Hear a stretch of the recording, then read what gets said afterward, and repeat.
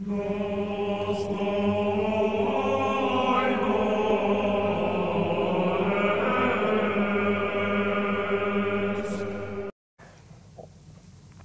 името на Отца и Сина и Светия Дух. Амин. Добро утро и честит неделен възкресен ден на всички, които очакват предаването на телевизия Алфа Неделя Ден Господен. Аз съм ваш домакин в следващите час и 40 минути. Казвам се отец Кирил. Отново ще призова всеки, който има тази възможност да не стои пред телевизора, а да тръгне към храма. Но за този от вас, за тези, а оказват се много хора са тези, които нямат възможност да бъдат в храма в този час, в неделния ден, за тях ние сме тук. Днес предаването, скъпи приятели, ще протече тъй. Ще минем към третата предпоследна част на Евангелието на от светия апостол и евангелист Йоанн. Това в началото на предаването. И след това тук гост ще бъде един дълбоко уважаван от мен и много обичан от вас, приятели мои, гост, който вече сте гледали поне два пъти през годините, казва се архитект Чавдар Йотов, с когото ще говорим за болшевишката революция, за това как тя се отрази на вярата. Нас политическият, политическата компонента на това какво се случи преди 100 години, през 1917 година, не ни интересува. Нашето предаване не е политическо. Но анализът, или поне въведението в анализа на онова, което се стовари върху православният свят и съответно резонансът му бе почувстван, макар и вече през най-силно след 1944 година и тук по нашите български земи и бе изтеглено и от нашия български народ. Поне началото на един такъв анализ ще поставим. Може би по-нататък да сме живи и здрави, ще направим една кръгла маса на тема вяра, на тема революция и атеизъм. За да... А защо е важно това? За да си дадем а, ясна сметка какво точно се е случило и да не допускаме и с нашата молитва, но и с нашата позиция на православни българи, това, което веднъж вече се случи, този, тази трагедия, която сполетя православният свят, източно православната църква, да не се повтаря повече. Защото а, никой да не казва, това е било едно време, сега времената са други. Не. Времената, приятели, са същите. И както през онези хубави години на Бел епок не са, не са очаквали хората, че ще, че ще дойде, дойдат ужасите на Първата световна война, голямата, великата война, както се е наричани, и ще разруши познатият свят тази война. Но тя дойде, тя се случи. И резултат. Не бе и така наречената Велика Октомврийска революция да не се заблуждаваме. Това, което и на времето хората са смятали, че няма как да се случи, се е случило. И в днешно време това, което въобще не си представяме, че може да ни връхлети, да ни сполети, ако го допуснем, не е извън границите на възможното. Напротив. И за това човек трябва да бъде буден. Бъдете будни, казва нашият Господ Исус Христос, и се молете. Да бъдем в молитва, но да бъдем и будни, т.е. наблюдаващи, оценяващи, знаещи, анализиращи, за да не допуснем трагедията отново. Трагедията отново. Преди да започнем с Светото Евангелие, а, нека прославим Свети Архангел Михаил, всички небесни архистратизи, цялото небесно воинство с едно песнопение. Nebesnih vojstav arhistratizi, molim vas prisnom i nedostojni, da vašimi molitvami ogradite nas, krovom krilne vešestvenija vaše jaslavi, sohranjajušteni, pripadajuštija, bilježno i vopijuštija, od bjedi zbavite jako čino načanici višnjih sil.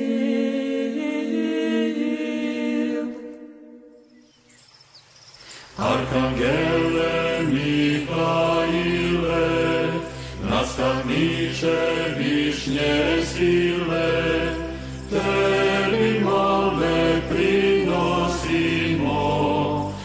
skrušeno te svi molimo.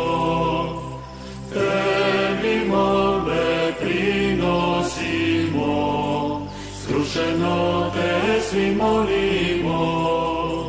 Molim Boga svakda za nas, a najviše moli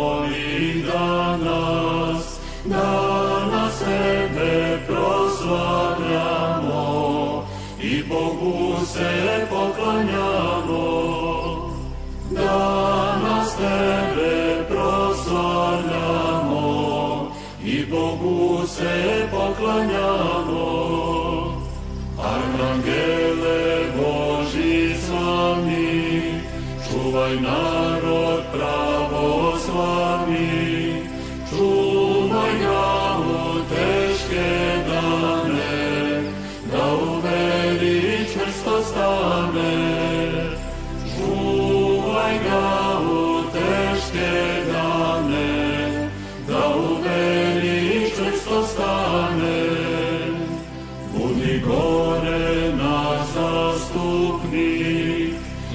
zemlji nas napukni, dobrim putem ti nas vodi, večnoj slavi i slobodi. Dobrim putem ti nas vodi, večnoj slavi i slobodi. I tutaj zapoczemy z, z този отказ, който съм подготвил за днес, пореден от глава 10 до глава 15 на Евангелието от светия апостол и евангелист Йоанн Богослов. Истина, истина ви казвам, който не влиза през вратата в овчата кошара, а прескача от другаде, той е крадец и разбойник, а който влиза през вратата, пастира на овцете. Немо вратарят отваря овците слушат гласа му, и той зове овцете си по име и ги извежда. И кога изведе, овците си върви след тях, и овците вървят подире му, понеже познават гласа му. Подира чужди човек не вървят, а бягат от него, понеже гласа на чуждите не познават. не знают чужого голоса. Тая притча им каза Исус, но те не разбраха за какво им говореше. Тогава Исус пак им рече, истина, истина ви казвам, аз съм вратата на овците. Всички, колкото са идвали преди мене, са кръци и разбойници, но овците не ги послушаха. Аз съм вратата. Който влезе през мене, ще се спаси. И ще влезе и ще излезе, и паша ще намери. Крадецът дохожда само за да открадне, убие и погуби. Аз дойдох, за да имат живот и да имат в изобилие. Аз съм добрият пастир. Добрият пастир полага душата си за овцете. А наемникът, който не е пастир, комуто овците не са негови, вижда вълка, че иде, оставя овците и бяга. А вълкът разграбя и разпръсва овците. Наемникът пък бяга, защото е наемник и не го е грижа за овците. Аз съм добрият пастир и познавам моите си и моите ме познават. Както ме познава Отец, да и аз познавам Отца и душата си полагам за овците. Имам и други овци, които не са от тая кошара и тях трябва да приведа и ще чуят гласа ми и ще бъде едно стадо и един пастир. И будет одно стадо и один. За това ме люби Отец, понеже аз си давам душата, за да я приема пак. Никой не ми я отнима, но аз сам от себе си я давам. Имам власт да я дам и власт имам пак да я приема. Тая заповед получих от Отца си. Поради тия думи пак произлезе разпра между юдеите. И мнозина от тях казваха, бяс има и не е в себе си. Защо го слушате? Други казваха това, не са думи на бесен. Може ли бяс да отваря очи на слепи? И настана тогава в Иерусалим празник обновение и зима беше. И ходеше Иисус в храма в притвора Соломонов. Тогава юдеите го заобиколиха и му казваха, до кога ще измъчваш душите ни, ако си ти Христос? Кажи ни открито. И Исус им отговори, казах ви, ала не вярвате. Делата, които аз върша в името на моя Отец, те свидетелстват за мене, но вие не вярвате, понеже не сте от моите овци, както ви рекох. Моите овци слушат гласа ми и аз ги познавам и те вървят подири ми. И аз им давам живот вечен и те няма да погинат вовеки и никой не ще ги грабне от ръката ми. Моят отец, който ми ги даде, е по-голям от всички и никой не може ги грабна от ръката на отца ми. Аз и отец едно сме. Тогава юдеите пак грабнаха камъни, за да го убият. И Исус им отговори, много добри дела ви показах от моя отец. За кое от тия дела с камъни ме замеряте? Юдеите му отговориха и рекоха, не за добро дело с камъните замеряме, а за богохулство. И за това дето ти, бидейки човек, правиш се на Бог. И Исус им отговори, не е ли писано в закона ви? Аз рекох, богове сте. Ако той нарече богове ония, към които бе отправено Словото Божие, и не може да се наруши писанието, на тогова ли когото Отец освети и прати в света, вие казвате богохулстваш, защото рекох аз съм син Божий. Ако не върша делата на моя Отец, не ми вярвайте. Ако пък върша, макар на мене и да не вярвате на делата, повярвайте, за да разберете и повярвате, че Отец е в мене и аз съм в Него. Тогава пак искаха да го хванат, но той се измъкна из ръцете им и отиде пак отвън Йордан, на мястото, дето по-преди Йоанн кръщаваше и остана там. Мнозина дойдоха при него и казваха, че Йоанн не бил сторил никакво чудо, но всичко, що Йоанн бил казал за него, било истинско. И мнозина там повярваха в него. Беше болен някой си Лазар от Витания, от градеца на Мария и сестра и Марта. А Мария, чийто брат Лазар бе болен, беше оная, която помаза Господа с миро и отри нозете му с косата си. Сестрите проводиха да му кажат, Господи, ето оня, когото обичаше болен. Като чу това, Исус рече, тая болест не е за умиране, а за слава Божия, за да се прослави чрез нея Син Божий. А Исус обичаше Марта и сестра и Лазаря, а когато чу, че е болен, престоя два дни в мястото, дето се намираше. След това рече на учениците, да идем пак в Юдея. Учениците му рекоха, Рави, сега юдеите искаха с камъни да те убият. И пак ли там отиваш? И Исус отговори, нали, 12 часа има в деня. Който ходи дене, не се препъва, защото вижда светлината на този свят. А който ходи нощя, препъва се, защото светлината не е в него. Той рече това и после им казва, Лазар, нашият приятел е заспал, но отивам да го събудя. Учениците му рекоха, Господи, ако е заспал, ще оздравее. И Исус бе казал за смъртта му, а те помислиха, че говори за сънно заспиване. необыкновенно. Тогава Исус им рече открито, Лазар умря, ала се радвам за вас, че ме нямаше там, за да повярвате, но да идем при него. Тогава Тома, наричан Близнак, каза на съучениците да идем и ние да умрем с него. Като дойде Исус намери, че той е вече от 4 дена в гроба, а Витания беше близо до Иерусалим, около 15 стадии. И мнозина юдеи бяха дошли при Марта и Мария да ги отешат за брата им. Марта, като чу, че иде Исус, посрещна го, а Мария седеше вкъщи. Тогава Марта рече на Исуса, Господи, да беше тук, нямаше да умре брат ми. Но и сега зная, че каквото и да поискаш от Бога, ще ти даде Бог. И Исус и рече, брат ти ще възкръсне. Марта му каза, зная, че ще възкръсне при Възкресението, в последния ден.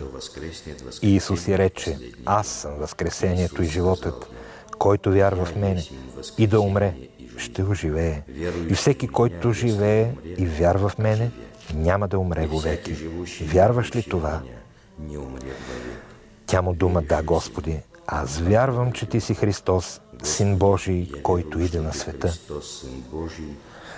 Като каза това, отидете, повика с кришом сестра си Мария и рече, Учителят е тук и те вика. Тая, щом чу, става бързо и дохожда при него. Исус още не бе дошъл в градеца, стоеше на мястото, дето го бе посрещнала Марта. Иудеите, които бяха с нея вкъщи и я утешаваха, като видяха, че Мария стана бързо и излезе, отидоха подирай, мислейки, че отива на гроба да плаче там. А Мария, като стигна там, дето беше Исус и го видя, падна при нозете му и рече, Господи, да беше тук, нямаше да умре брат ми. И Исус, като я видя да плаче, и дошлите с нея и юдеи да плачат, разтъжи се духом, смути се и рече, де сте го положили? Казват му, Господи, дойди и виж. И Исус се просълзи. Тогава юдеите казваха, гледай колко го е обичал. Някои пък от тях казваха, не можеш ли Тоя, който отвори очите на слепия, да направи, защото и Тоя да не умре? А Исус пак, тъгувайки в себе си, дохожда при гроба. Това беше пещера и камък стоеше отгоре. И Исус казва, дигнете камъка. Сестрата на умелия, умрелия Марта му казва, Господи, мирише вече, защото четири дена е вътре. И Исус и дума, не казах ли ти, че ако повярваш, ще видиш славата Божия? Тогава дигнаха камъка от пещерата, дето лежеше умрелият. А Исус дигна очи нагоре и рече, Отче, благодаря ти, че ме послуша. Аз и знаех, че ти винаги ме слушаш. Но това казах за народа, който стои наоколо, за да повярват, че ти си ме пратил. Като каза това, извика с висок глас, Лазаре, излез вън. И излезе умрелият с повити ръце и нозе в погребални повивки, а лицето му забрадено с кърпа. Исус му казва, разповийте го и оставете го да ходи. Тогава мнозина от юдеите, които бяха дошли при Мария и видяха, що стори Исус, повярваха в Него. А някои от тях отидоха при фарисеите и им разправиха, що стори Исус. Тогава първосвещениците и фарисеите се събраха на съвет и казваха, какво да правим? Тоя човек върши много чудеса. Ако го оставим тъй, всички ще повярват в Него и ще дойдат римляни, те ще ни разорят и страната, и народа. Един пък от тях на име Каиафа, който не е година беше първосвещеник и ме рече, вие нищо не знаете, нито помисляте, че за нас е по-добре един човек да умре за народа, отколкото цял народ да погине. И това не от себе си каза, но като беше нея година първосвещеник, предсказа, че Иисус ще умре за народа. И не само за народа, но за да събере наедно и разпилените чеда Божии. От тоя ден проче се сговориха да го убият. Поради това Исус вече не ходеше явно между юдеите, а оттам отиде в една местност близо до пустинята, в града, наричан Ефраим, и там стоеше с учениците си. Наближаваше Пасха юдейска и мнозина от цялата страна отидоха в Иерусалим пред Пасха, за да се очистят. Тогава дираха Иисуса и стоейки в храма, думаха си един други му, как ви се струва? Дали не ще дойде на празника? А първосвещениците и фарисеите бяха дали заповед, ако някой узнае де е, да обади, за да го уловят. то объявил бы, дабы взять его. За шесть дней до Пасхи пришел Шест дни преди Пасха Исус дойде в Витания, дето беше умрелият Лазар, когато възкреси от мъртвите. Там му приготвиха вечеря и Марта прислужваше, а Лазар беше един от седналите с него на трапезата. Мария пък, като взе литра нардово чисто драгоценно миро, помаза нозете Исусови и с косата си отри нозете му. И къщата се напълни с благоухание от мирото. Тогава един от учениците му, Юда Симонов Искариот, който щеше да го предаде, рече, защо да не се продаде това миро за 300 динария и парите да се раздадат на сиромаси? Това каза той не, че се грижеше за сиромасите, а защото беше крадец. Той държеше ковчежето и крадеше от онова, каквото там пускаха. А Исус рече, остави я. «Оставьте ее». Тя е запазила това за деня на погребението ми.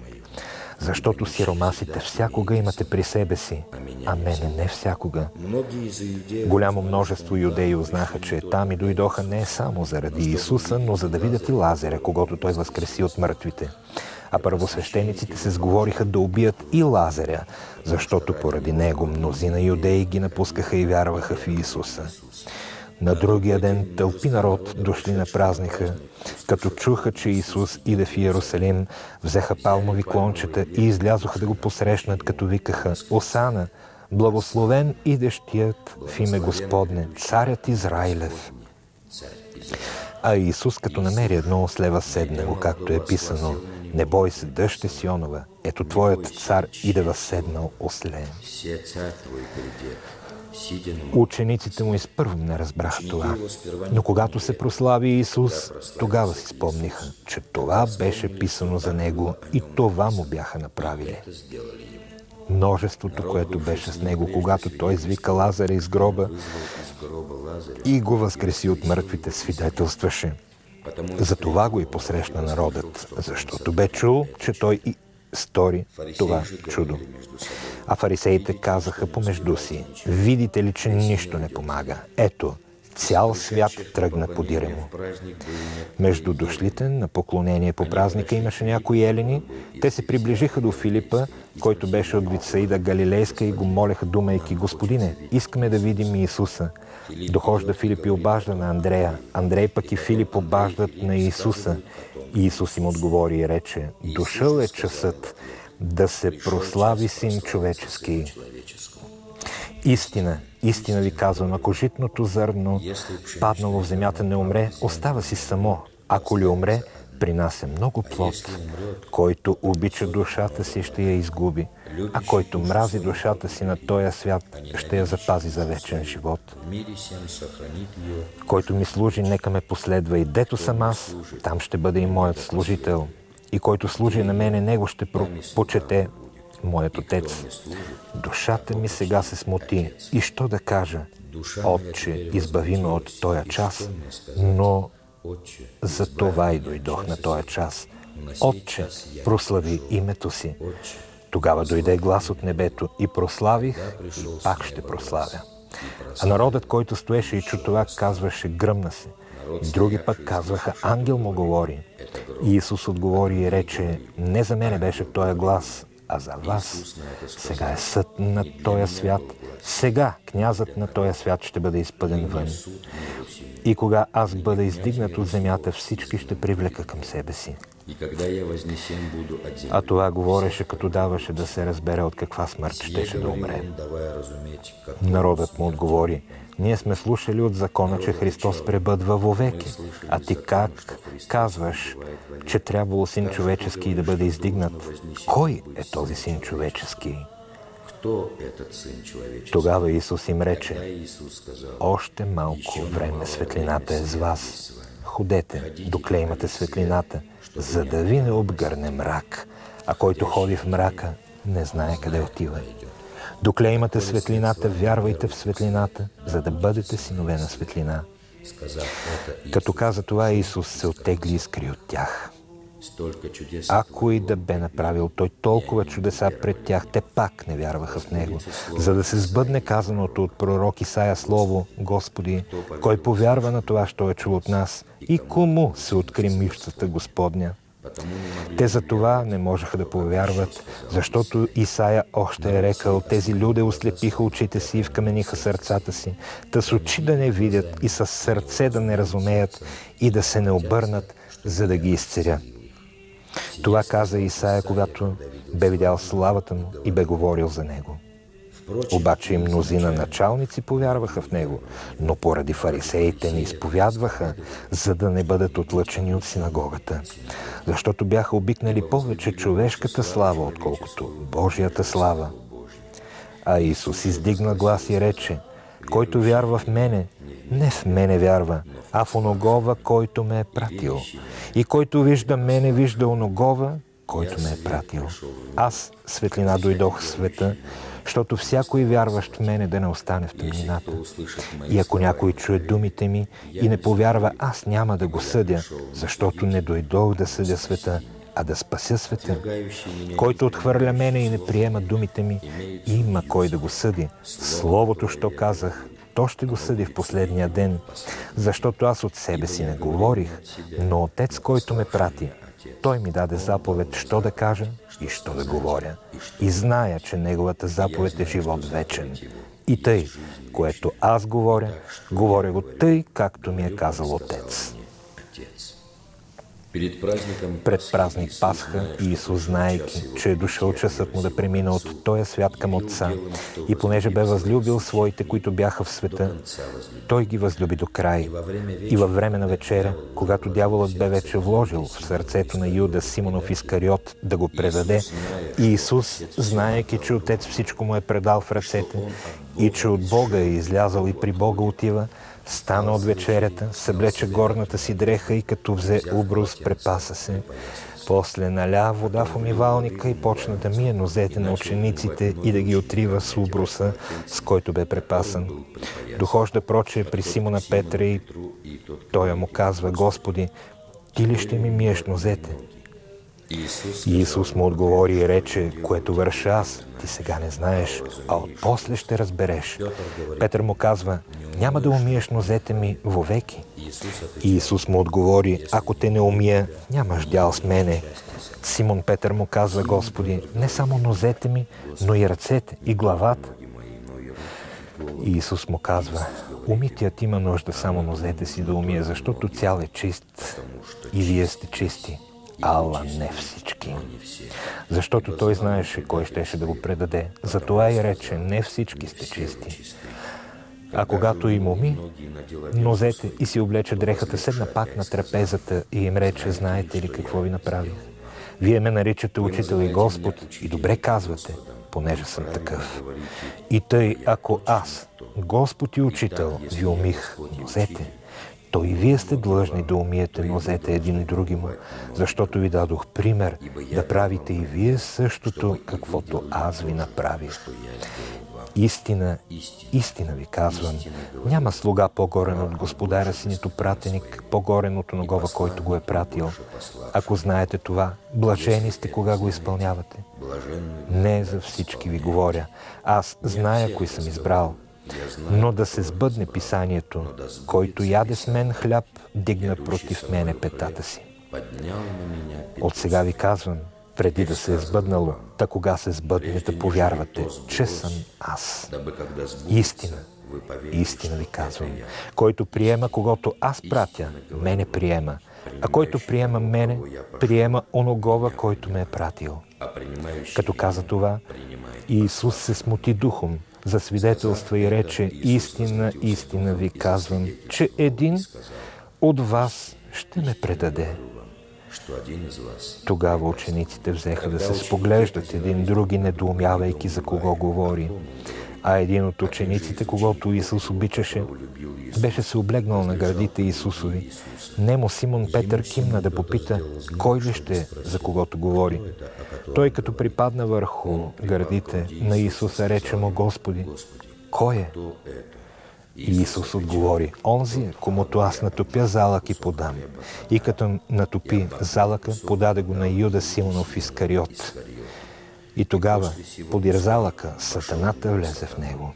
А Исус му рече, каквото ще вършиш, върши го по-скоро. Никой обаче от насядалите на трапезата не разбра защо му каза това. А понеже Юда държеше ковчежето, някои мислиха, че Исус му казва купи каквото ни трябва за празника или да раздаде нещо на сиромаси. он принял Той като взе залъка, веднага излезе. Беше нощ. Когато той излезе, Исус рече, сега се прослави Син човечески и Бог се прослави в него. Ако Бог се прослави в него, и Бог ще го прослави в себе си и веднага ще го прослави. Че да, още малко съм с вас, ще ме дирите. И както казах на иудеите, че където отивам аз, вие не можете да дойдете, и вам казвам сега.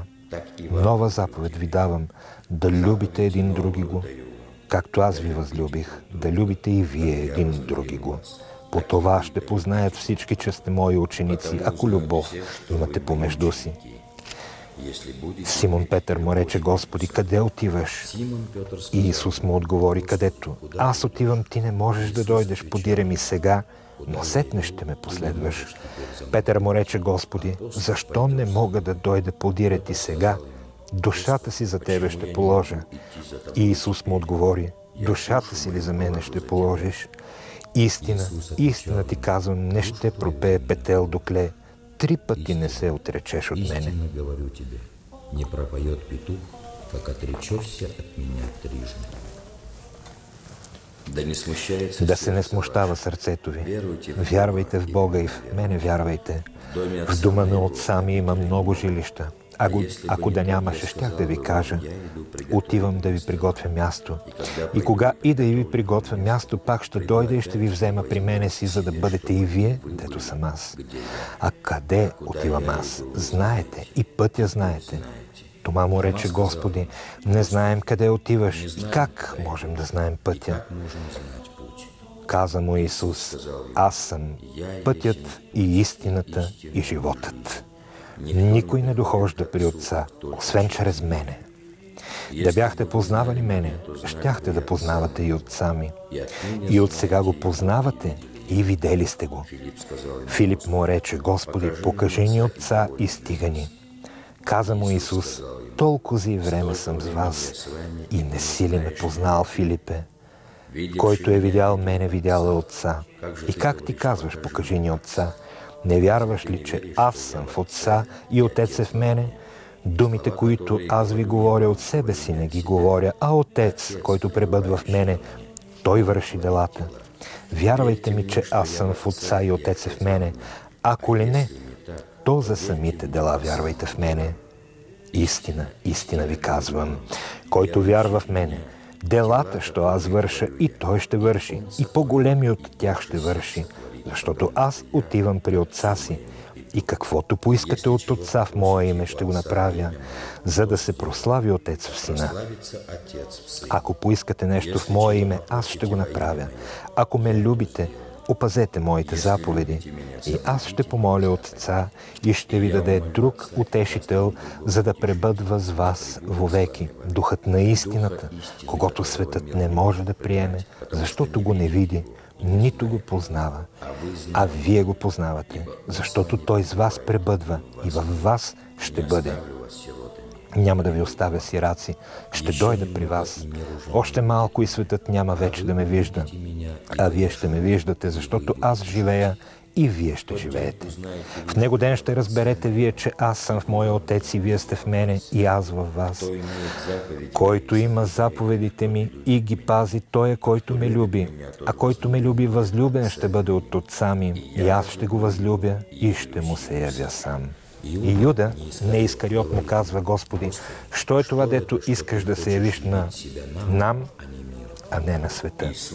И Исус му отговори и рече, ако някой ме люби, ще спази Словото ми и моят Отец ще го възлюби и ще дойдем при него и жилище у него ще направим. Който ме не люби, не спазва словата ми. А словото, що слушате, не е мое, а на Отца ми, който ме е пратил. Това ви казах, бидейки с вас. А утешителят, Дух Свети, когато Отец ще изпрати в Мое име, Той ще ви научи на всичко и ще ви напомни всичко, що съм ви говорил. Мир ви оставям, Моя мир ви давам. Аз ви давам. Не тъй, както светът дава, да се не смущава сърцето ви, нито да се плаши. Чухте, че аз ви рекох, отивам от вас и пак ще дойда при вас. Да ме бяхте любили, щяхте да се възрадвате, че рекох, отивам при Отца, защото моят Отец е по-голям от мене. И сега ви казах това, преди да се е сбъднало. Та кога се сбъдне, да повярвате. Няма вече много да говоря с вас, защото иде князът на този свят и в мене той няма нищо но отивам, за да разбере светът, че любя Отца и както ми е заповядал Отец, тъй и правя. Станете, да си идем от тук. Бе, Господи, слава Тебе! Нека останем в молитвено богопочитание и да се помолим Господ да се смили над нас и да опрости нашите дори и непростими грехове. Господи, помилуй, чуйте и да се помолим.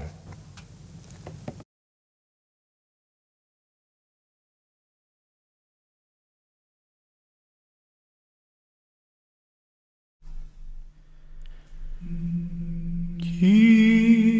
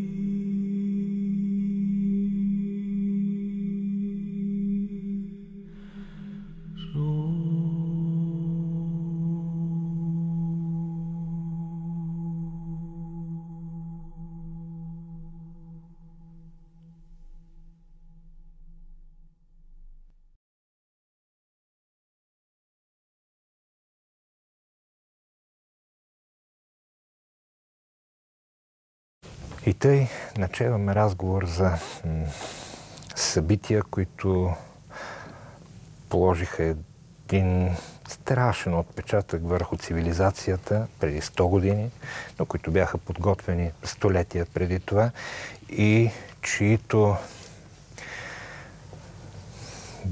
чието демонски вои ще бъдат ще бъде чуван още столетия нататък през вековете. Говорим за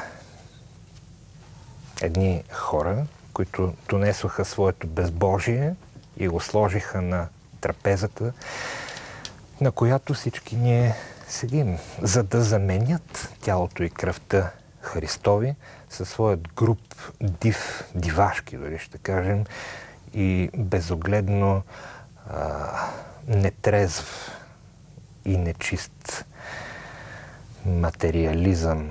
Здравейте, господин Йотов. Радвам се, че отново сме заедно в студиото на телевизия Алфа. Здравейте. В предаването на Деля Ден Господен. Искам само да кажа на нашите зрители, зрители че последните 10 на 15 минути на предаването ще бъде отворен и телефонът, за да зададете вие въпроси към нас, които сме в студиото и да се получи диалог, диалог на който винаги сме залагали цялото си съществуване всъщност, защото именно в нашия диалог е смисълът на съществуването на нашето предаване. И тъй. Нека да ви задам в началото, господин Йотов, един въпрос, който по-скоро ще бъде м- хайде да си представим така. А, ако се върнете вие лично 100 години назад, с кого от участниците в тази революция бихте искали да се срещнете с един Керенски или с Свети Николай II, или може би с Ленин и неговите сподвижници? Според мен е с а, а, Свети Николай II, който е е, великомъченик или мъченик или страстотерпец. Страстотерпец. Според мен той може и по-високо да се издигне в иерархията на, православните све, е, светци, но въпросът е друг. Можело ли е да бъде предотвратена революцията, защото това е, това е големия въпрос, който сега всички православни истински така, устремени към православието ги вълнува. Големия въпрос е, може ли е да бъде спряна и февруарската, и, и октомврийската революция. Според мен е тук и не само според мен. Така, доста неща съм чел и доста неща съм мислил и сега гледах едни филми по повод 100 годишнината от революциите. Те са две и много трудно, много трудно е могла да бъде спасена революцията, въпреки че... Спряна. Спряна. Да бъде спасена монархията, стария ред, както се казва и така нататък може би трябва да започнем малко по-отдалече, защото за да разбереме смисъла на ставащото, ако погледнем в конспирологичен план нещата, самата революция как е извършена, как са протекли събитията, нали? Това е чиста конспирология, нали? Смисъл някъде да се договаряте ни хора, вършат нещо, как са го извършили и по какъв наш начин е, е станал. По-интересното е в големия контекст и смисъла на ставащото, което е далеч започнало преди е, тези събития и е свързана с това, което нали, често говориме за катехона, нали, за удържащия, за държащия и така нататък. И може да кажем, че в тази нашата 2017 има още един юбилей. Това е а, протестантския юбилей. Това е 500 години. 500 години от Мартин Лутер. И ако трябва а, да свържеме двете събития, ще видим, че резултатът от така от социалистическата или пролетарска социалистическа революция е довел, доведе пак отново до, до Мартин Лутер. Тоест, а, лутерианството днеска, в неговия най-отвратителен вид, там има и някаква част, която ние одобряваме. Нали? Протеста срещу това, което е симонията, срещу Упрощаването, упрощаването срещу пари. Да, срещу индулгенциите и така нататък. Но както и, и прекомерната власт на, на финансова власт на, на църквата в а, а, тези а, тогава феодални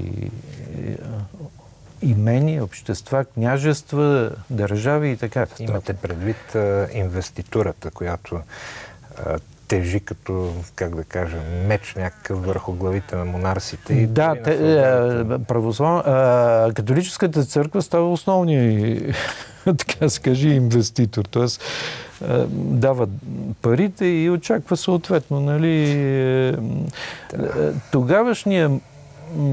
Тогавашния момент е свързан с това, че е, започва Ренесанс. Той започва с съвсем други цели от начало за връщане и припомняне на греко-римската култура, в която цяла Европа е израснала. Включително и ние сме нали, част от тази греко-римска култура, на която в католицизма а, после е прекъснат е, е, гръкоримския дух и според мен не е за лошо настанало, защото езическите времена свършват. Е, в Европа започва е, християнизация тези тъмни векове, за които се говори, че са били ужасни, всъщност това е, е, истинското християнство на Запад, което не се е различавало от православието. Нали? То е било единно. В, в един момент обаче Безусловно, до 9 век да. До края дори на 9 век ние нямаме никакви различия. Да, не, има един, има малка схизма, тя по повод на това, че ние ставаме патриаршия. Е, да, че, че приемаме християнството от, е, от Византия, от Константинопол. Да, да. Тогава имало напрежение, но то не е довело до схизмата. Схизмата идва според мен е поради друг повод. И той е много значителен, че православието става религия в руската държава. Това е, това е според мен генералната причина. Няколко десетки години след това да се стигне до, до схизма. Но има едно много интересно събитие по-рано, касащо цялата тази история. Аз съм бил в Ахен. Това е истинската столица на, на Западна Европа, тъй като ние не сме част от Западна Европа, макар че сега ни набутаха там в, в истинския смисъл на думата, без да, без да сме такива, нали? И без да сме западноевропейци нито по смисъла на нашата традиция, нито по, дори по происхода на нашето население, така да го наречеме, сме нещо друго. Тук има много малко присъствие на, така да се каже, на генетически материал на западноевропейците. Това е едно събитие, което не е, от, не е дало някакви резултати на нас, за нас, българите. Но 800-та година, така. аз като специалист по-скоро по нали, геополитика, за която обичам да говоря. Нали, не съм чак такъв богослов или философ или... Въобще, аз съм архитект, нали? Е, Извинението е, за мен е, че съм архитект. Ху- Хубаво е, че вие признавате това, че съм архитект, защото днеска професиите вече не се уважават.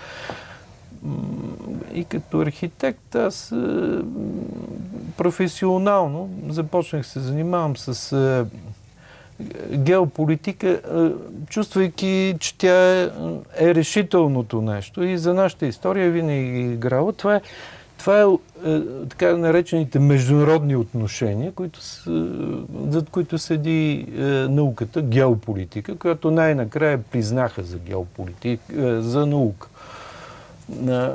В е, България има само един човек, който конкретно използва геополитическата наука. Той е също колега, известен е, но той използва точно в обратния смисъл на това, което аз твърда. Тоест той... аз не съм съгласен с него. Той проповя... Архитект Генчев ли има? Архитект Генчев. Той има един материал напоследък, който аз е, чета. Друг никой не знам да се занимава сериозно с геополитика, макар че има хора, които могат да цитират цели страници и пасажи от така наречената наука геополитика, автори и така нататък. Тук не става въпрос за някаква а, научна дисертация на тема геополитика. Такива хора има, но те не се занимават с българска геополитика. Единствено архитект Генчев, служайки се с а, тези методи и оперирайки с тези понятия, които са фундаментални за геополитиката, се опитва за мен е манипулативно да вкара България там, където е не е място. А, обяснявайки историята и така нататък. Но 800-та година има едно събитие, което и и в България има такова събитие.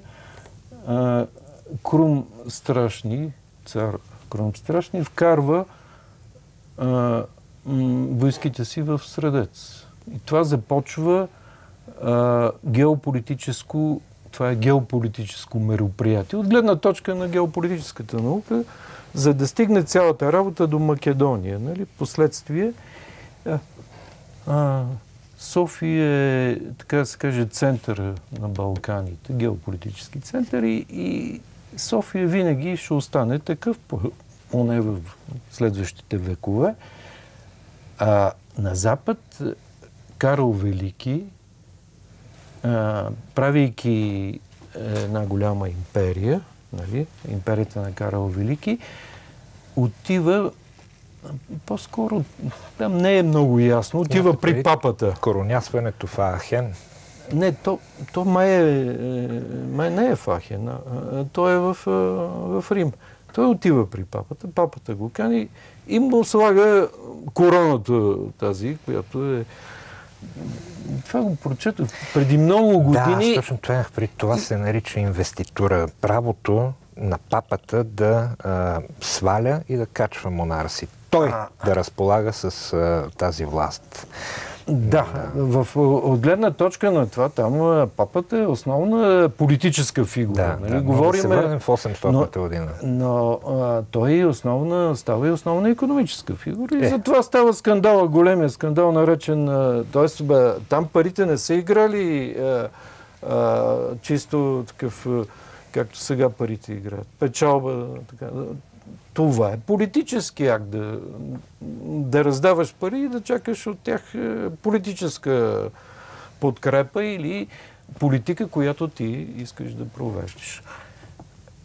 Значи, това го пише Кенет Кларк в една книжка, която съм е купил преди 40 години, далеч преди събитията от преди 30 години, която за първи път там нямаше марксизъм-ленинизъм в тази книга, независимо какъв е Кенет Кларк и така.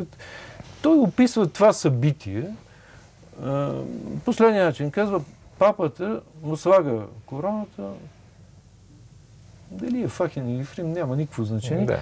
А, обаче а, а, Карл Велики, Шарлеман там се сеща и казва, да, да, ама хубаво, аз нали, съм император, но, но император е в, в Константинопол. Тоест, от тогава, от тогава има едно колебание и съмнение къде е, къде е центъра на православието. И естествено, че там в Константинопол, където е било. Да, съмнение, обаче да кажем точно от гледна точка на мира сега, на разположението на силите в това време и до сега. Защото от богословски смисъл, от богословска гледна точка няма никакво съмнение да. кой е центърът. Не, на... той се усъмнява в да. цялата тази работа, че може да бъде е, император на християнските народи. Да. На европейска да. Европа. На християнска Европа. И казвам, той, то си има император, той е там, нали, аз, да, е хубаво това, нали, е, неговата империя се разпада 14 или 15 години по-късно, а, а българската империя тогава, започната именно според мен тогава започната с, с този поход към Средец. Стига върха си в края на века, нали, с приемане на православието. И с това, което веднъж тук говорихме, че а, Семион Велики а, а, желая да се сроди с византийците, с византийските родове и да се установи обща балканска православна държава. Е, византийците отказват, те се страхуват от българите, че като по-воинствен, силен, пасионарен народ е, ще изместят е, тези родове, които са управлявали. И тогава започва нещо, което по-късно дава отражение. Но в а, по-късния период вече Византия изчезва. Според мен тя изчезва поради отказа на, на това обединение между православните народи на, на Балканите и създаване на една сериозна империя върху, а, върху нашата почва върху евразийската почва. Аз твърда, че България е първата евразийска държава. Не, няма нищо европейско от гледна точка на, на, на тези е, културно-политически и религиозни понятия, а, а, че едва ли не българите са европейци. Европейци и евразийци, това са двете части на, на Европа. В политически, в културен и в религиозен смисъл. Дори има една държава, която тук в това студия се споменава много често. Това е Унгария.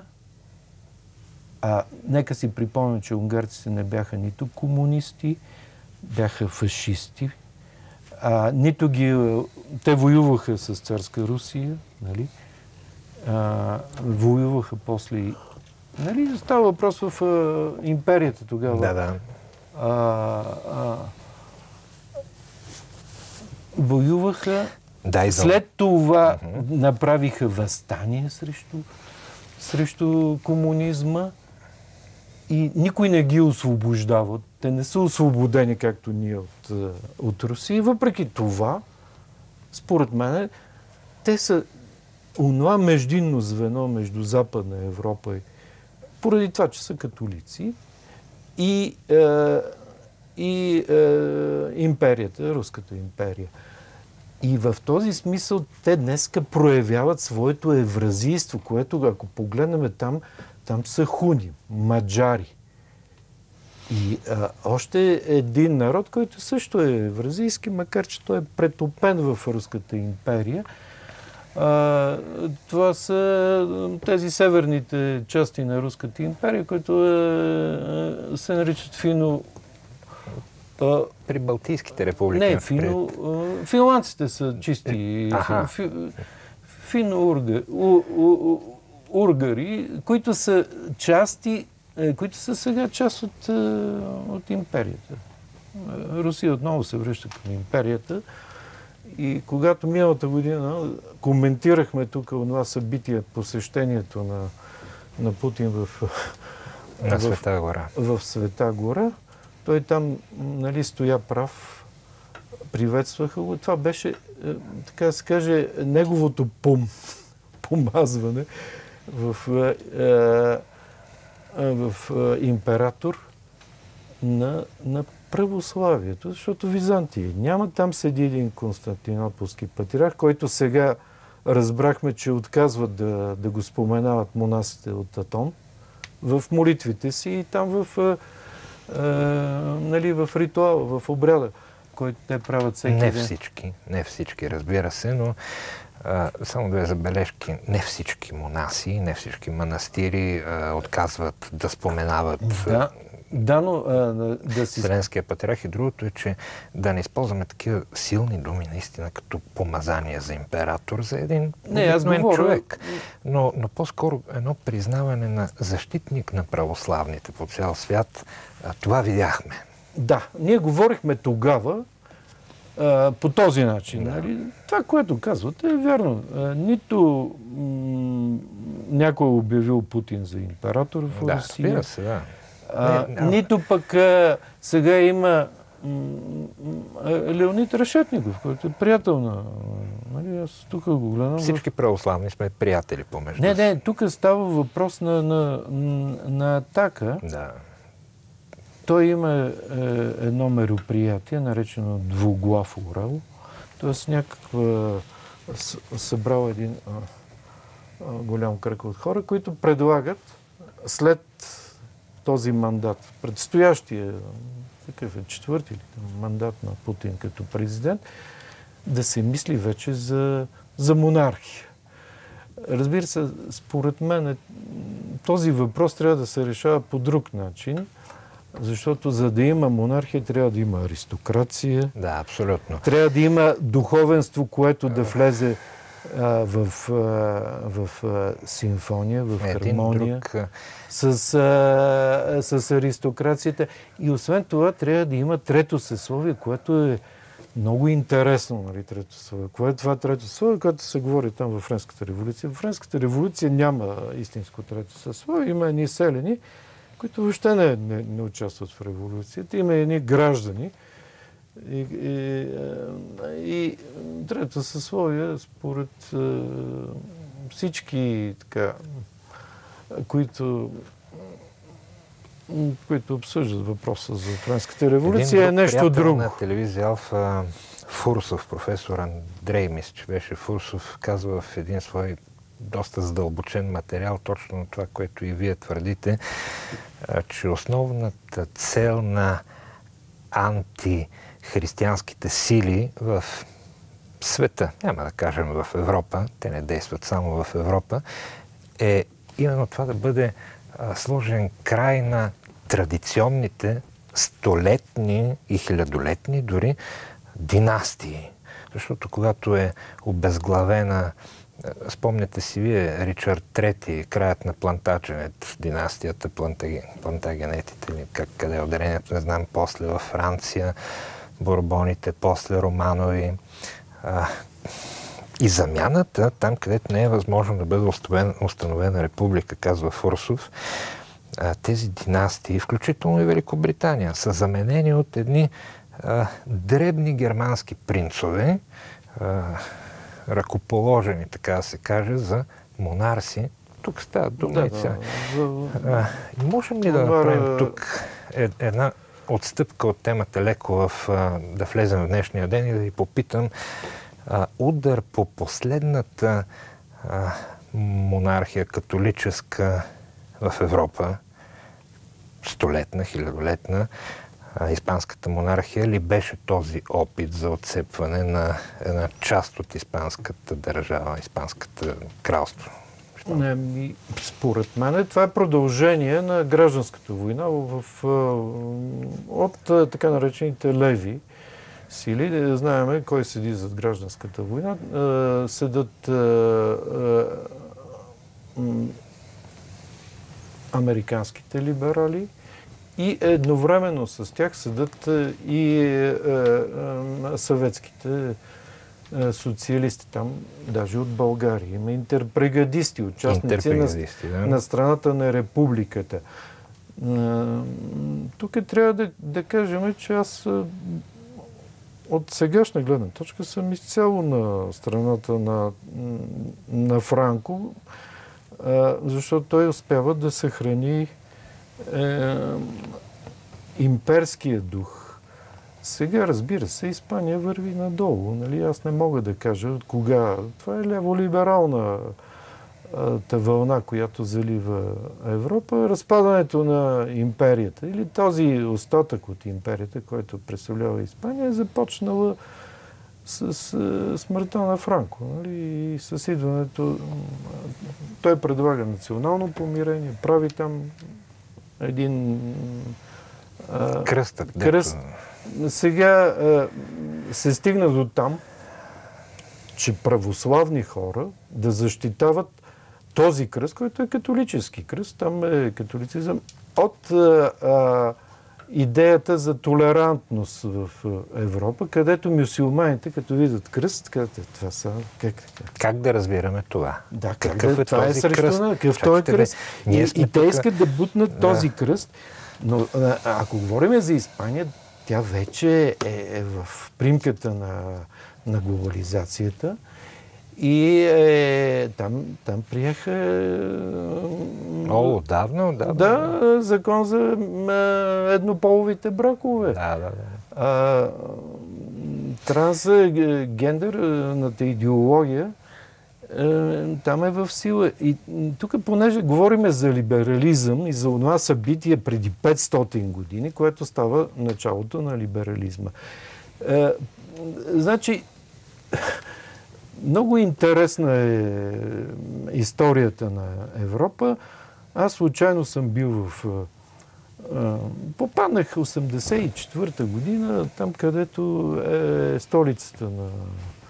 на той е станало в едно друго селище, там Витенберг, но в същата провинция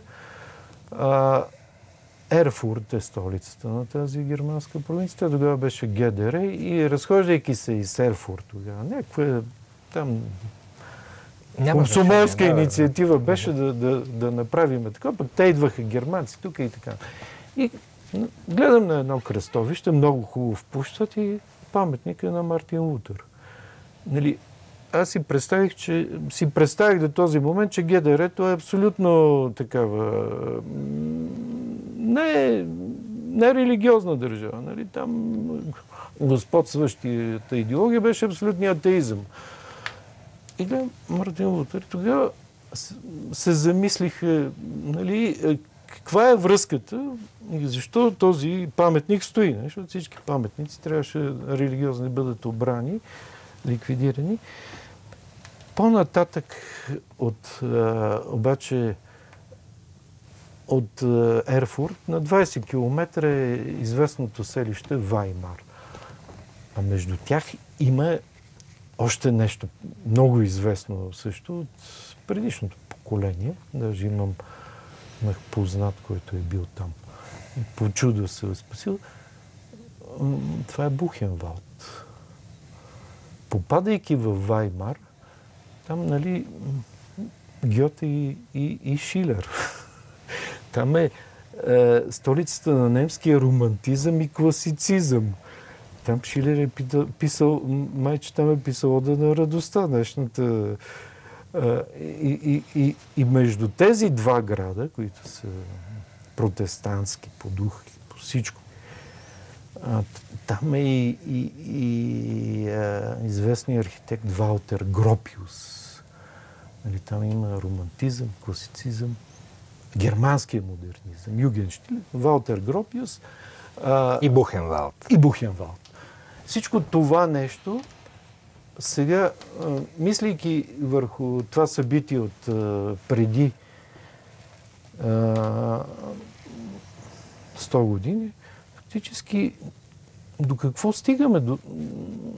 И трябва да си дадем сметка какво остана от онзи социализъм или пролетарска революция или комунизъм или каквото иска. Ми остана глобализацията. А какво е глобализацията? Началото на нея дават протестантите. А ико... Тоест, екуменическата това е ерест, това, това, това го прочетах от един много авторитетен mm-hmm. български mm-hmm А, а, Тоест, монах- реформация, отиваме в а, интернационализма на 17-та година и стигаме до глобализацията на 21 Да, век. какво остана от комунизма? Така. глобализацията остана. И това го прочетох. Аз това дълго време го мислих. Мислех, че това, това трябва да е основна тема на нашия разговор. Защото ако се върнем към тези кървави събития, за което един български много известен социалист, или по-скоро ляв, или по-скоро твърди, че това е най-безкръвната революция, това, което остана от тази революция, която беше измита с кръв, нали, там, а, а, там а, Троцки, който му, значи левите публикуваха там в техния интелектуален сайт, публикуваха за панагирик за Троцки. А, Нека да се придържаме е, към православната гледна точка. не, искам да кажа защо Троцки попада после в Мексико, нали? Нека да, да, да разгледаме малко по-широко нещата и да се върнем към православието. Защо попада в Мексико? Ами в Мексико е извършена също такава революция, кървава. Унищожена е католическата църква, каквато идея е за нас католицизма. И днешното Мексико, това е гражданска война между мафиотски банди, нали? която едва се удържа от правителството на Мексико. Те бягат от Мексико в Америка, там мексиканците, защото там просто е ужас. Накъв ужас. А, нали, като ликвидираш църквата и традицията, независимо дали е католическа, Да, да. Така протестанството започва своя поход към глобализацията. И, и, и това обяснение, защо остана, какво остана от комунизма, според мен глобализацията, го прочетох. Наляво, наляво, наляво. Какво означава наляво? Леви, леви, леви. Маяковски. Да, Маяковски. Поетите понякога е, несъзнателно, архетипично издават е, смисъла на събитията. Не, ми те по-скоро, така да се каже, превеждат на, на други език. Е, понякога и твърде пасионарен. Нали? Говорихме за Гео Милев. Нали? Без Бог, без го- Господар. И от тук трябва да се върнем към православието. Защо православието е пречка? Да. Нека да говорим. Значи, е, има една такава теория и въобще, че революцията била поддържана от някакви богати е, капиталисти. Капиталисти, да. А, Ребушински, Морозов, е, Парвус, който е Да. довлякал Троцки наново от Америка, с пари, нали, подкрепват революцията, дават всичко, каквото могат. Ами, те казват, е, тук нашата държава, тук става въпрос и за монархията, нали? Те са искали конституционна монархия по-английски. Тоест царя царува не управлява, нали? както става в е, протестантския свят. Англиканската църква, вие тия неща сигурно по-добре от мене може да ги разкажете. А, а, проблема с църква, че тя удържа стария порядък. А тя е основа на не само а, на православието, но и на порядък. И какво пречи на тези хора? И те се съюзяват с болшевиките, въпреки че са богаташи. От гледна точка на идеята, че ще премахнем капитализма, тези хора ще отидат а, на Букулка, Имате предвид капиталистите. Имам предвид капиталистите, Да. които са на първо място основна цел. Тъй като не може аристокрация и а, капиталисти да, да са на една място. Ние трябва да казваме или ние, или те, нали? От тук се разрушава цялото православно единство и в е, без аристокрация, без стражите пазители на реда, нали, а този ред е православен, стария порядък, стария ред в Русия, за какво говориме? И това е тънкият момент. те са съюзници на булшевиките. За... Те после казват, те, те булшевиките, те са несериозни хора. Е, нали, си отидат, ние само ще получиме това, което искаме, да се разкарат тия тук. Болшевиките ще свършат мръсната, Мръсната работа, работа на капиталистите. На капиталистите свършват, разбира се, нали, сещате? Само, че остават. Значи, а, в а, гражданската война, която се води между а, бели и, и червени, на страната на червените някъде, може би е преувеличено, участват 29% от а, офицерите и генералите, които са били до момента на, на революцията и които са заклели във вярност в монархията на Николай II. Те са дали а, клетва а, за вярност. А защо воюват те? Ами защото интервенцията, това са 18 чужди държави, ще ли да унищожат руската държава? Те решават в един момент. Е, някои от тях остават на монархически позиции. Обаче решават, сега по-добре да я има руската държава, отколкото тия да дойдат да я разграбят. Там 18 чужди държави е имало интервенцията. Какво става 35-та година? Това е интересното.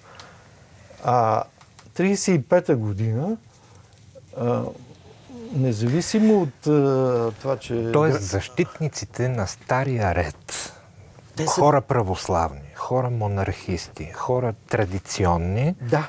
защитават своята държава и ще кажем тук и новата патриаршия, защото Русия вече отново Да. се въздигна, срещу кого? Повторете го вие. Срещу Запада. Срещу Запада. Така. Който иска да ликвидира тази държава, Да. защото се съмнява А в... ликвидирайки държавата, неминуемо ликвидира и самостойната църква, автокефалната църква и остават разпилени някакви... Нали? Добре Да, ви разбирам. Не, остава място, където може да се възроди православието. Само там, нали? Те, те това го разбират. Така, сега да запазиме държавата. Така. А после, нали, историята ще покаже. Историята го показа. Всъщност да. 70 години след това комунизма рухна. Той рухна обаче върху руския народ. Ние сега говорим, ама той комунизма беше така, унака. Има една снимка в интернет, която е от български фотограф на паметника горе на, на Бузлуджа. Нали? Има там една зала и там има един пилон. Аз познавам архитект, той е известен, нали, беше така най-архитекта между нас, архитекта. Е, Залата е отгоре разпробита, нали? И всичко е... Тя всеки момент може да рухне тази една конструкция, има, която отгоре се виждат дупки, нали? Така, да. И това остана от а, българския комунизъм. А там имаше м, такива мозайки, нали, както в, в някакъв а, езически храм нали, са изрисувани нашите идоли. И там идола, кой е на първо място е, е Благоев. Да, ако е за България, значи, как бяха? Маркс, Енгелс, Ленин. Да, от едната страна Да. с тези, а за България, които са на, начало, така мисля, че не съм ходил, но а, аз не го харесвах и тогава. Това аз не съм ходил. Той е, е, той е копиран от един известен американски архитект. Моят приятел Франк Лойд Райт. Това е чисто такава Разбира се. а, подражателна нали, имитация на нещо, което не е българско. Чиния кацнала, нали, не знам защо. Да, да се върнем на темата. Но защо вътре в тази зала, аз съм гледал други снимки, из, избушиха образа на Тодор Живков.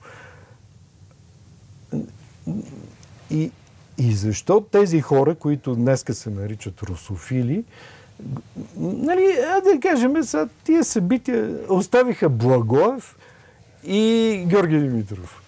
А, защото Тодор Живков е, е, свърши две неща. Първо, е, прекрати гонението срещу тези елементи, враждебните реакционни елементи.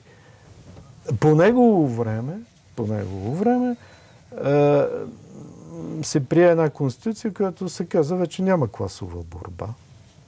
Тоест основната идея на марксизма е, че има класи. Нали? Ние сега... Тази класа е грубокопачна така, диалектиката, мат, материалистическата диалектика, която така, няма, стига вече с тази игра. Това е негова заслуга. Казва, държавата вече е общонародна. Тоест, няма вече класи, стига сме ги преследвали тия хора, няма за какво. А, аз изпомням личния спомен. А, баща ми беше, е, да не кажа сталинист, беше си сталинист. Нали? Не крие происхода си и въобще не се... А, нали, Няма значение, да. Да. Давайте натам. Сед- 70-те години.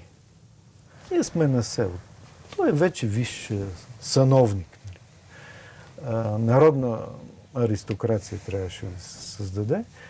И идват някакви хора, шушо-мушо, шушо-мушо, викат го там на вратата на, на къщата. Той след малко се ви връща и казва, всичките ги оправихме има, има предвид класовите врагове или тези, които са реакционели, или тези, които са били против тогава, с извинение, Народната република. А, и, и казва, ама този казва, нещът, вика, той е рязал гърди на една партизанка. Нали? В смисъл някакъв изверг. Изверг. Преди 9 септември. А, Разбирате за какво става въпрос? Опитвам се. Да, Тодор Живков удари е, края на, на, на класовото. А неговия личен архитект, знаете какво е отец Паиси преди девети. Това е интелектуалното ниво на, на фашизма. Не онзи фашизъм бакалския, нали, който, или този, който на дребната буржуазия, селска или градска, нали, който извърши такива ужасни неща. А интелектуалният фашизъм. А този човек строеше партийни домове. А той е бил член на това А дружество. Паисий е. Така Това е върха на... Да, да. А той е бил член? Да, аз го научавам случайно става, от един архитект на мой комунистите, да. близък, кой каза, бе, не му дадоха, той самия ми го разказва, не му дадоха, казва на, на него там а, някаква награда, юбилей, а, не социалистически награда, герой или нещо, да. какво беше, народен архитект ли, заслужил архитект, не си спомням. Защото вика, ровиха в досието му и откриха, че той е бил член на Да. на това нещо. Той строеше партийни домове. Даже аз имам конфликт с него по повод на един партиен дом. Вашия който- конфликт няма значение. Да А се въпрос- върнем на темата. Въпросът е друг. Въпросът е друг. А какво олицетворяваше Тодор Живков? Възможността да се възпроизведе българската държава по друг начин. А в 70-те години а, а, изчерпана идеология. Там построени заводите, нали, всичко както трябва. И На къде отиваме сега? на къде отиваме? Няма идеология, разбирате ли? Да, да, да, да. И те казват, ми трябва да, да видим сега философите. Философите нищо не предлагат. Тогава казвате ми, трябва да се към духовното да се ориентираме. Тогава, нали, сещате... Мистицизма на... Да. и тогава се вкара а, на бившата английска а, масонска агентура, вкара нали, всичко, което знаем за Блаватска, за теософиите.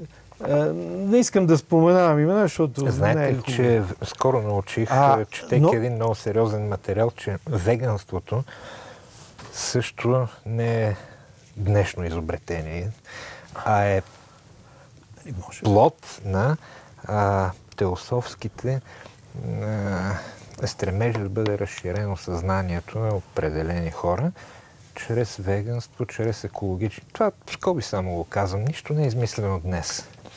Да, и се връщаме на а, отпечатъка на революцията върху вярата, православието Еми, То е изцяло... и държавността, разбира се. Значи 35-та година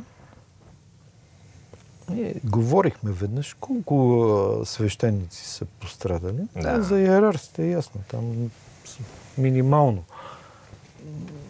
някаква 35-та година, това, което го пише там в интернет, нали, аз от друга, не, те руснаците го пишат, то от, такива антикомунистически позиции, да не мислите, че някой е скрил нещо. А, само 35-та година над 100 хиляди свещеници са избити. Какъв е смисъл на това нещо? Няма ни, нали? Махнали сме буржуата капиталисти. То за един ден става това с декрет. Нали? Вече собствеността на фабриките е така. ем, на, а, а, но, което ме озадачи от тези, които са защитавали руската държава нали, в гражданската война. Те стават и защитници на революцията. Волю, не волю. Голяма част от тях са преподаватели в висшите военни училища, защото са офицери, а там няма от червените, няма един, Е, който няма, да... Няма как, да. Да. И а, същата 35-та година от Ленинград тогава 25 000 души, това са и семействата, от а, а, бившите военни, от аристокрацията фактически, от а, а, войните стражи, както се казва така в, а, в философска, а, са изкарани и те. Значи, продължава терора абсолютно безсмислен. Каква е причината? Кой го прави и защо го прави? А, е, а, а за какво?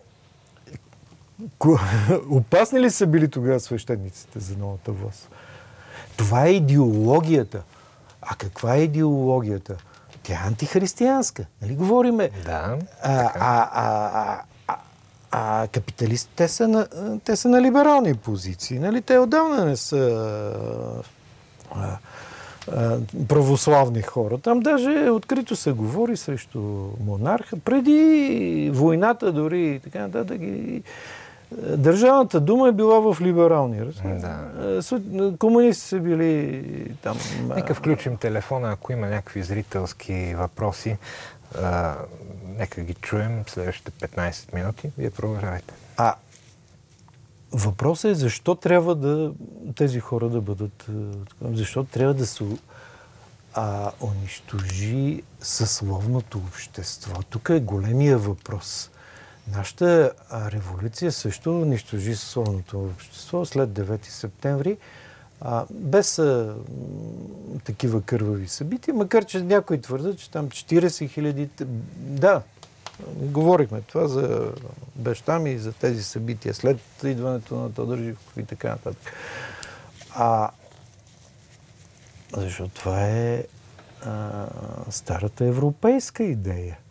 Това е либерализма, който прониква в, а, а, в социалистическите идеи. Жан-Жак Русо също. Нали? Той казва, а, да, аз съм срещу гражданското общество. Това е чисто либералната идея. Днес като говорим гражданско общество, ние сме сега гражданско общество. И това е гражданското общество, което виждаме.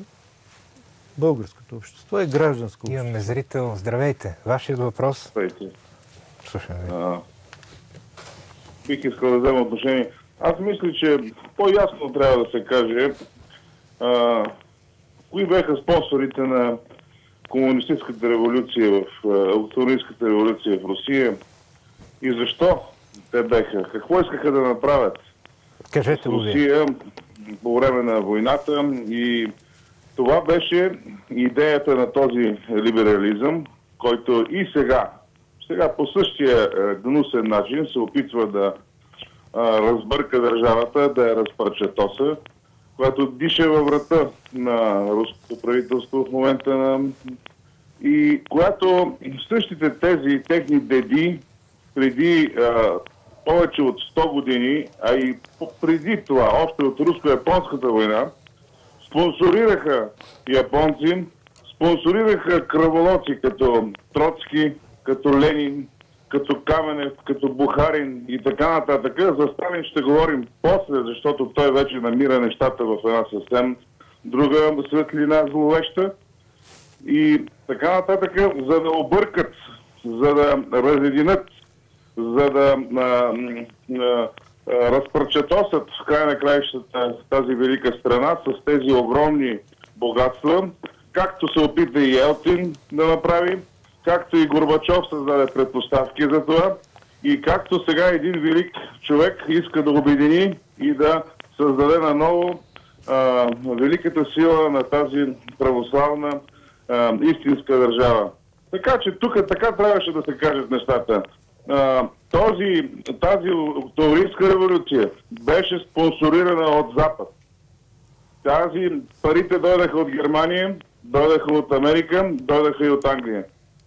И сега продължават по същия начин, подмолен, гаден, а, детски наивен, бих казал, защото нещата вече са в друга светлина, да продължават да, а, да, да, да съборят а, и да разпърчетосат тази държава. Това е, което исках да споделя. Много ви благодаря. Аз казах и ще потвърдя, а ние няма да спрем този разговор, защото човек трябва да бъде предпазен. Човекът трябва да бъде предпазен, човекът с главна буква, човечеството, от повторението на това, което се случи. Вие казвате, скъпи зрителю, същото, което се случи преди 100 години, се случва и сега. Затова и водим този разговор и много ви благодаря за вашето изключително точно и компетентно мнение. Вие?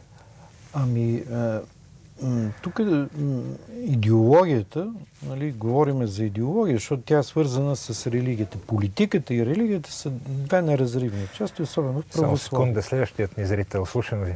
Здравейте. не трябва, не, не трябва да са бъркаме с а, езически традиции, които са навлезли в, а, в, във всеки народ, богоборчески и така нататък.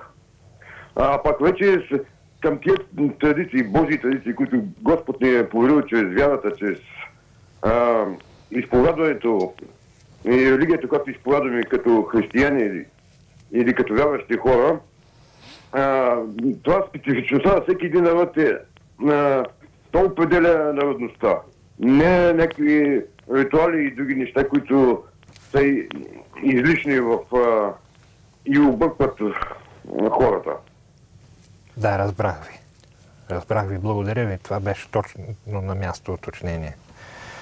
Ние говорим за връзката на религия с политика. Аз а, това се опитах да кажа, че Не, геополитика... за политика не говорим. За Не, геополитика а, може. Не, говориме за идеология, която Да, е да. антихристиянска, Точно така.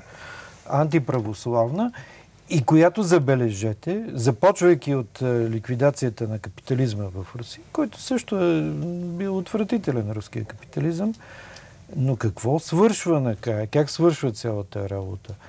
А, това е една от идеологиите на модерността. И ние, ние живеем вече в постмодерния свят, който е ужасен. Няма... Е, в него живеем. Знаем, Да, преди знаем че е 30 ужасно. години в България се извърши втора революция от същите комунисти в полза на капитализма. Значи те веднъж се биха срещу капитализма и после го приеха като нещо абсолютно естествено. И а, това, което днеска представляват българските социалисти, Така. защото а, това е свързано с религията, това е протестантска секта. Понеже се говори днеска нали, за, там, за дебилизация. Затваряме телефона. Имате 5 минути да обобщите това, което е много интересно. Социализма е протестантска секта, така ли? днешния реформиран социализъм най-накрая стигна от там, откъдето почна до протестантска секта. Това е социал-демокрацията и това го знаят всички. Социал-демокрацията, а, както и протестанството, са и, икуменизъм. Така. Значи глобализма, за да се реализира този а, това Глобалистичен общество, проект. този глобалистичен проект, трябва идеологията на а, социалистите в а, а, Запада. А Основ... не дясната и не консервативната, така ли? За консервативна идеология може да говорим отделно. Тя е противник на, на комунизма. Така, да, да, извинете, че ви прекъснах. Да, а, дясното и либералното днеска са основни. Днеска няма социалисти. А, това е трети политически пол, ако може така се изразиме в... А, ама не между социалните там придобивки, които социализма Имаше, а и либералния капитализъм, който ограбва трудовото население. А в а, глобален смисъл това е място на, на социалистите. Те са а, либерали, Така. те са а, особен тип. Щом са либерали, по дефиниция са антихристияни. Щом са либерали, ами да, и антиправославни Така, по, по да, дефиниция. да. Защото почвайки с това събитие преди 500 години, Така. то е насочено срещу Точно православието. То завършва накрая в, в февруарската революция, но тя се оказва недостатъчна, защото там се колебаят какво да правят с аристокрацията и с, а, а, с а, Николай II и семейството му, с а, страстотерпец Николай. Да, да. А, п- последният истински православен монарх. Абсолютно. И в този смисъл революцията завършиха преди 30 години с връщане към либерализма. Аз, аз твърдя, че левия либерализъм е основа на днешната глобализация. Аз го прочетох на... Дълго време мислих, може би от преди една година, защото познавам нашите социалисти. Знам тяхните идеологически спорове. На всичкото отново, на, на, а, те отново, както на времето преди 9 фашистите набутаха България там в национална катастрофа. Това беше национална катастрофа, защото могахме да излеземе от войната преди 6 месеца преди да дойдат а, съветските войски и да застанем на каквито искате позиции. Можеше да забележете На унгарски, например. Нямаше да има е, тази такова, нямаше да има репресия срещу е, духовенството в нас, срещу, срещу аристокрацията.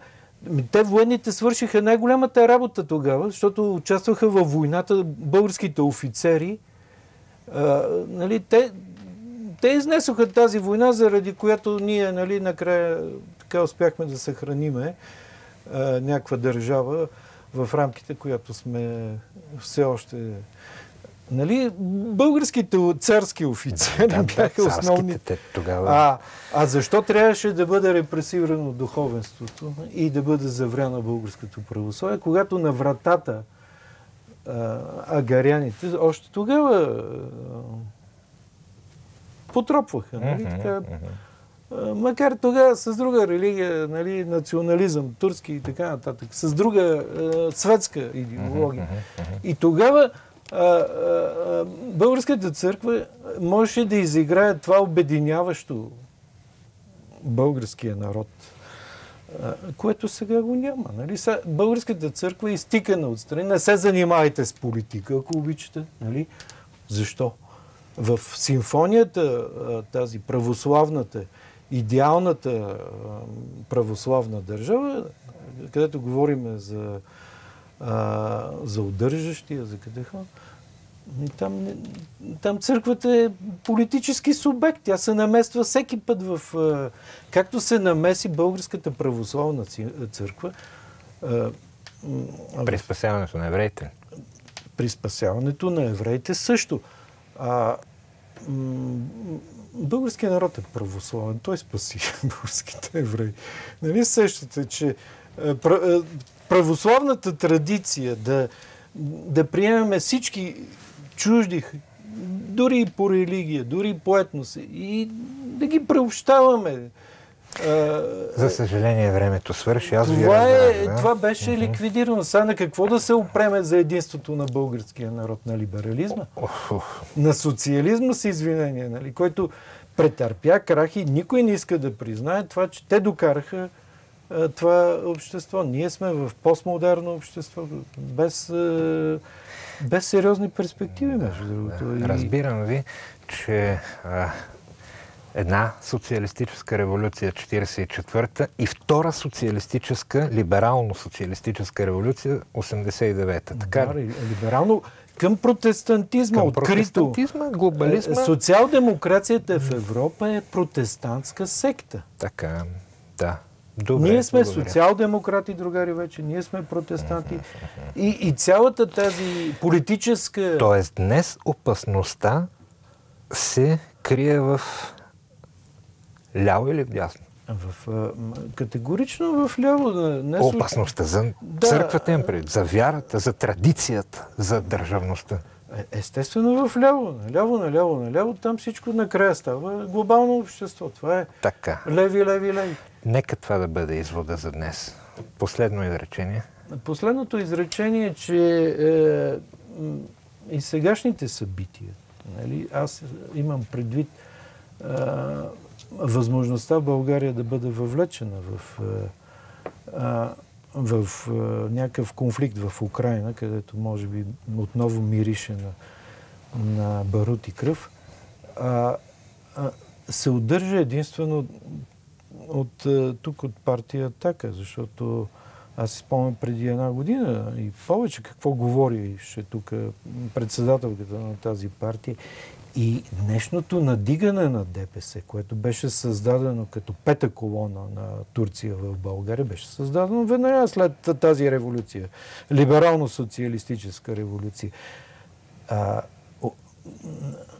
колкото и да не ни харесва там ГЕРБ и неговата политика, между двете злини, това е, е по-доброто решение, защото за какво е този натиск сега срещу правителство? Ние говорим съвсем ясно. Отидохме вече в а, Не, искам да кажа, материя, която не ни е присъща не, искам да кажа откъде идва опасността за България днес.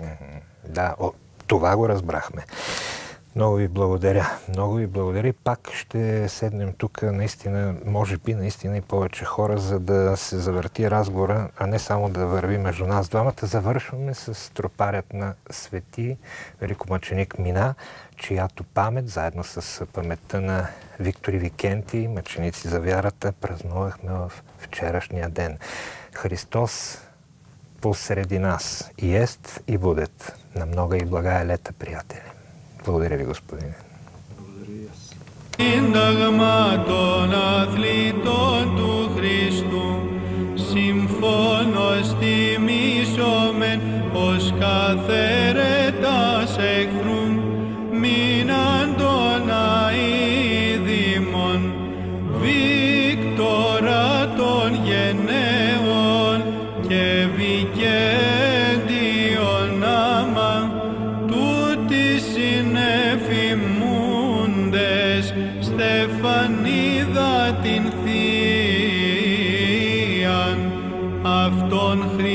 day